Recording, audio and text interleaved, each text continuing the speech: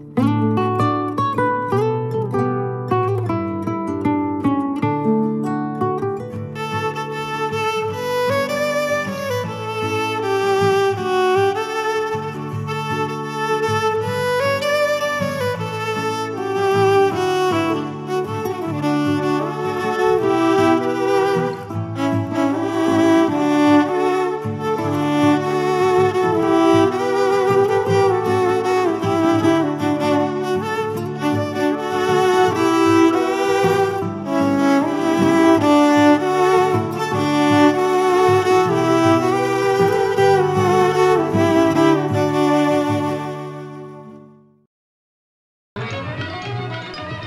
In the Ranji Trophy final at Hyderabad, Sardesai and Engineer opened for Bombay against Hyderabad, who have entered the final for the first time in 22 years.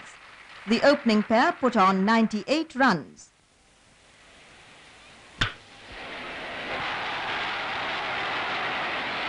Bombay skipper Bapu Nadkarni punishes the Hyderabad bowlers mercilessly. Wadekar contributes 76 runs. Nadkarni scores 194 runs. Jairam gets the Bombay skipper caught by Venkatesh.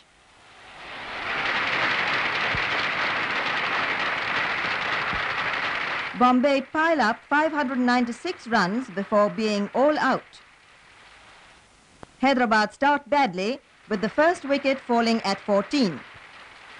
Habib Ahmed makes a gallant effort to save his side and scores 43. Wahid Yar Khan is top scorer with 78 runs. Gupte bowls Wahid and soon it is all over. Hyderabad are all out for 235 and are forced to follow on.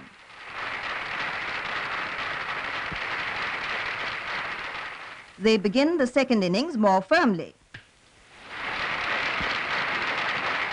They managed to put on 69 runs before losing two wickets.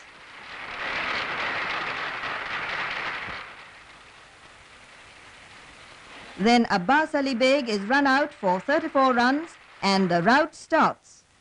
Gupte dismisses the Hyderabad skipper Jaisimha for a paltry 14.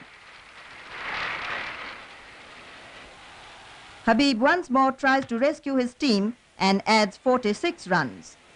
But Hyderabad are again all out for the identical score of 235. Bombay win by an innings and 126 runs to claim the Ranji Trophy for the seventh year in succession.